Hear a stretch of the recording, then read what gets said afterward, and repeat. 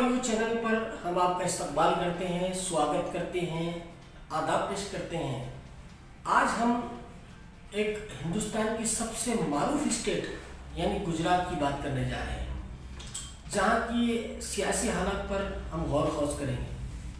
हम आपको ये बता दें कि गुजरात में कुछ शहरों में कारपोरेशन के इंतबात होने जा रहे हैं।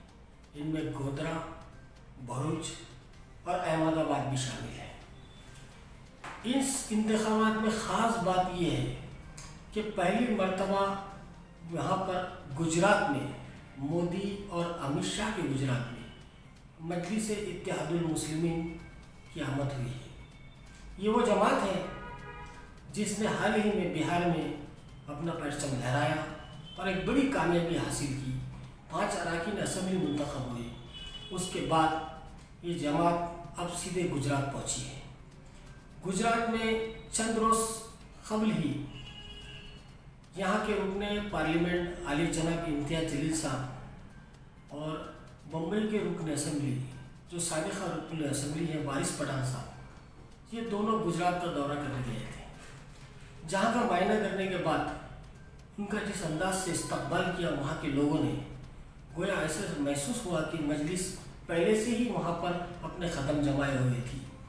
उसके बाद कायद मोहतरम अली जनाब बैरिस्टर असदुद्दीन अवीसी साहब दो रोज़ कबल वहाँ पहुँचे। उन्होंने दो जलसों से खिताब किया। दोनों जलसों में अवाम का जो हजूम था, जो सरों का समंदर हमें देखने को मिला और जो मीडिया की रिपोर्टें आई, उससे गोया ऐसा महसूस होता है कि गुजरात में मजलिस बहुत बड़ी ताकत बनकर उभरने वाली है।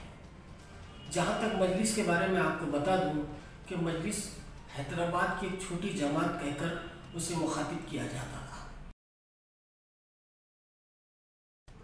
कांग्रेस, एनसीपी और दीगर सेकुलर जमातें कभी भी मजलिस मुस्लिमीन को अपने मुकाबिल का नहीं मानती थी। यही बात थी कि बिहार में किसी बड़ी सियासी जमात ने मजलिस के साथ इतिहाद करना मुनासिब नहीं समझा।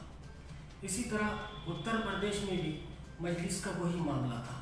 लेकिन जैसे ही कायद मोहतरम बैरिस्टर असदुद्दीन अवैसी की शख्सियत निकलती गई, दिन ब दिन इतनी निकलती गई कि हैदराबाद के बाद औरंगाबाद में मजलिस को एक बड़ी कामयाबी मिली।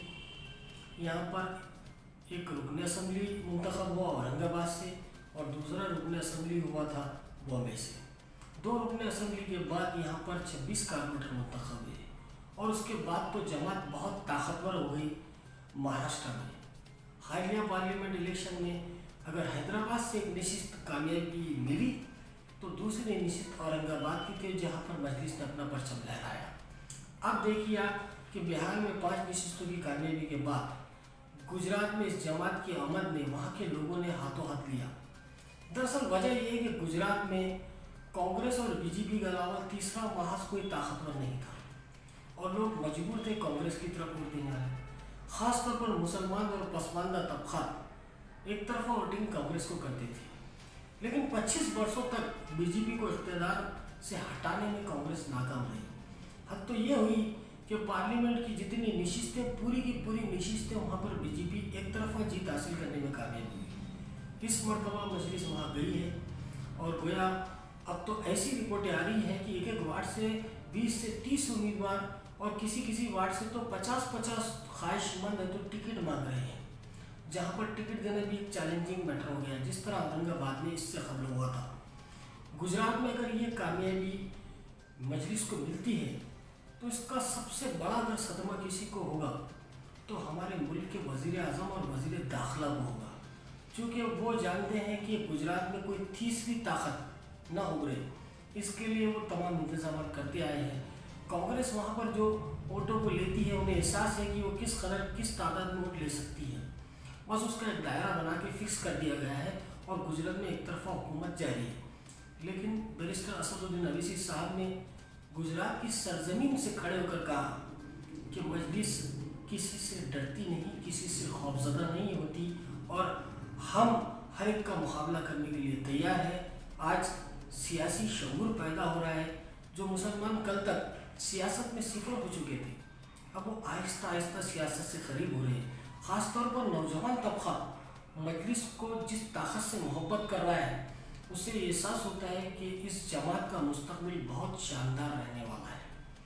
गुजरात में अगर इंतबात में मजलिस इतिहादुलमसलिमिन को अच्छी खासी नशस्तें हासिल हो सकती हैं तो ये बिल्कुल अंदाज़ा लगाया जा सकता है कि मुस्तबिल में जब असम्बली के इंतबात होंगे तो वहाँ पर भी मजलिस को कामयाबी हासिल हो सकती है। इसके लिए वहाँ की जो टीम है, गुजरात में जो टीम बनाई गई है मजलिस की, उन्हें पूरी ताकत से उभरना होगा गोया, ऐसा महसूस होता है कि अगर हर रियासत में जिस तरह आज राजस्थान हो गया है पश्चिम बंगाल हो गया है, और दीगर रियासतों में मध्य प्रदेश हो गया है, यहाँ पर भी लोग चाहते हैं कि कायद मोहतरम अली जनाब बैरिस्टर असदुद्दीन अवीसी वहाँ का चक्कर लगाए, वहाँ पर लोगों से खिताब करें और मजलिस को जोड़े।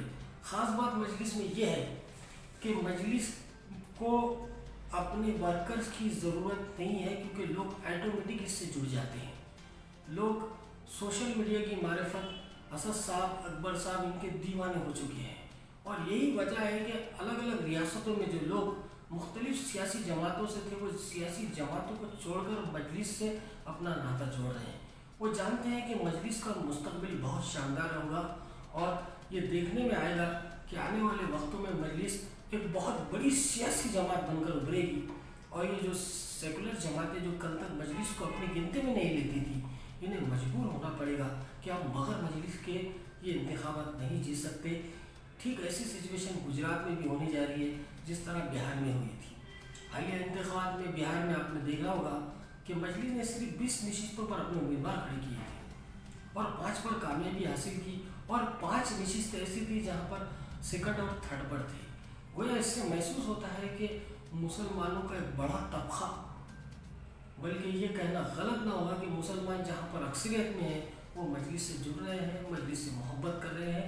अगर गुजरात में ये बिहार की तरह औरंगाबाद की तरह तारीख दोहराएगी तो मैं समझता हूँ हिंदुस्तान भर में मजलिस एक बड़ी ताकत बनकर उभरेगी। हम इस तरह के मौजूद पर रोज़ बात करेंगे। Rahbar A for use T V channel से मैं ज़मीर अहमद खादरी। जय हिंद।